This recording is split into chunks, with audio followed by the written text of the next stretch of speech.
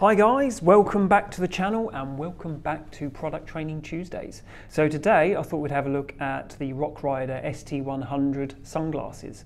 So I realise that these are at the cheap end, uh, but that doesn't mean that they're bad quality. So uh, these cost roughly around $4.99. Uh, they are full polycarbonate lenses. Um, so they come in three different guises. They come in category zero, so uh, for night riding.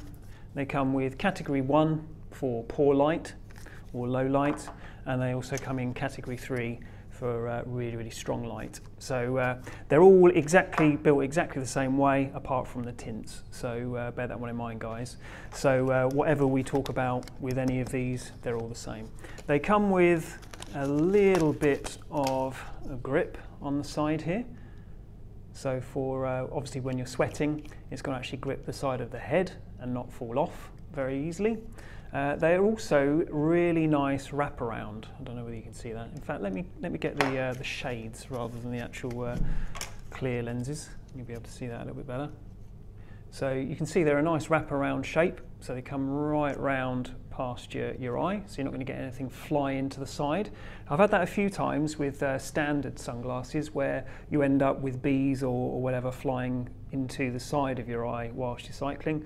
Uh, branches as well, brambles, anything like that. So uh, having that wrap around is really, good. It's more of a spherical lens, so it's not completely flat. So bear that one in mind, guys. You can see that the, you've got that little bulge there which means it's going to be uh, following the shape of your eye really, rather than being dead flat, rather than the 80s style. Uh, if I stick them on, you can see um, they end up looking like something like from the Terminator. Um, so you can see that they come out to the sides here as well. So when you're actually looking over your shoulder in traffic, you haven't got any kind of thing in the way here, which is really, really cool. So very, very nice. Uh, they feel comfy, I would imagine, because the, the actual nose piece, I don't know whether you can see that, but it is just plastic.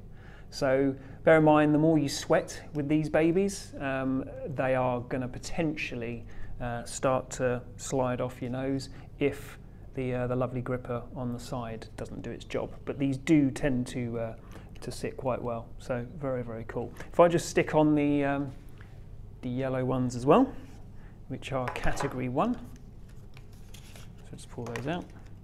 So I'm going to definitely look like Bono now, or something from maybe Mr. and Mrs. Smith shooting shades, but they really, really do brighten up a really dull day. So perfect for, uh, for riding in, in bad weather. So very, very cool. And then if I put my uh, the clear ones on, these are very much like a science teacher, but really, really good at night. So you're still going to be able to see absolutely everything. There you are, not too shabby. I do look like a science teacher with those on. Anywho, uh, but they're polycarbonate lenses. So I am going to demonstrate uh, what a polycarbonate lens does. Um, they don't shatter. And th this is the thing, guys. These are UV 100%. Uh, or against UV 100%, so they are really, really good for that. Um, but these are polycarbonate, which means that if you crash your bike, you are not going to have a face full of uh, shattered plastic smacking into your into your face and, and damaging yourself. Um, these will actually protect your eyes and they will protect um, most of your face. Um, most sunglasses that you will purchase um, will not have polycarbonate lenses and there is a danger that they will shatter and then stab your face and nobody wants that. So just bear that one in mind guys. I'm now going to show you or demonstrate a stamp test uh, with these sunglasses. Take care.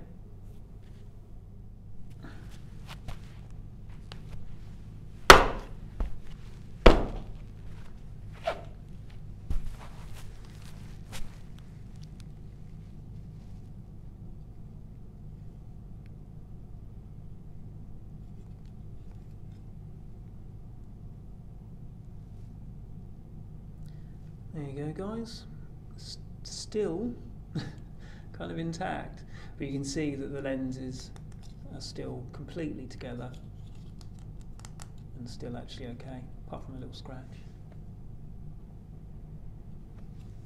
Woohoo!